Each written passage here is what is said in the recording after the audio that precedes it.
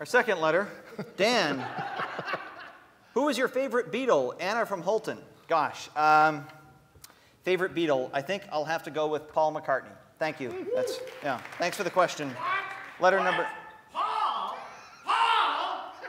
What is that all about? John Lennon was the best Beatle, Dan. Come on. Oh my gosh. Idiot, idiot, idiot. Here, take that. Take that. Take that. Take that. Brian, Take that. Brian, Brian, Brian, settle down. You said that John Lennon was the best Beatle. Yeah. Anna asked who my favorite Beatle was. There's a difference. Oh, never mind. Brian Nadeau, ladies and gentlemen, from the Jump City Jazz Band. Decaf.